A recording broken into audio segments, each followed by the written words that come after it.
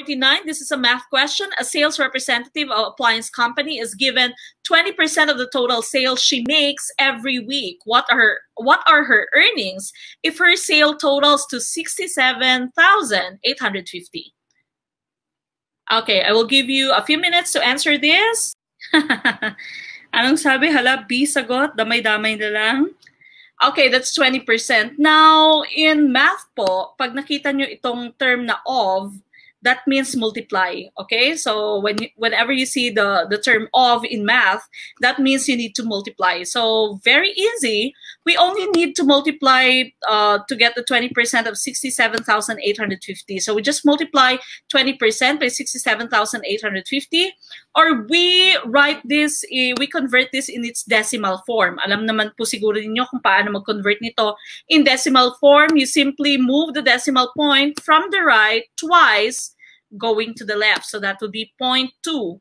Okay, so we just multiply 67,850 by 0.2. Okay, so your answer would be 13,570. That would be letter B. Okay, so letter B is the correct answer. Okay, so letter B is the correct answer. B po ang ating tamang sagot. That's 13,570. Okay, we're down to our last question for Gen Ed. Okay, this is still math. Ang daming math questions in this set, no? So number 50, if in one section, the ratio of boys to girls is 4 is to 3, if there are 42 students in a class, how many are girls? Okay, pag may 42 students sa klase, how many are girls? Okay, now how do we solve this? All right, so again, you are given four boys is to three girls, okay? For four boys, there would be three girls. What you do is you get the total ratio. How do you get the total ratio? You add lamang po itong ratio natin na 4 is to 3, okay? So 4 is to 3, that gives us 7, okay? So that's the total ratio.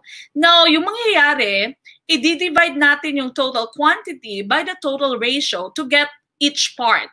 Okay, your total quantity here is 42. We are going to divide that by our total ratio of 7 para makuha natin yung kada part. Okay, so we divide 42 by 7 which give us 6. Okay, so that means kada part ay 6. So that means now, para makuha mo kung ilan yung boys at ilan yung girls, i-multiply mo lamang yung um, proportion na nandyan, yung ratio na nandyan. Okay, so for the girls, we are asked for the girls now. So we are asked how many are girls. We simply multiply 3, which is given in our ratio, by 6, which is for each part. So 3 times 6, very easy. Your answer would be 18. Okay, so 18 girls. So again, just add your ratio to get the total ratio. So 4 mm-hmm. plus 3 is 7. Then divide the total quantity by the total ratio. So 42 divided by 7, that gives us 6. Okay, then multiply this ratio here by each part. So 3 times 6, that's 18. Now, if the question is how many boys are there, then you are going to multiply 4 by 6. Okay, in that case, there are going to be 24 boys.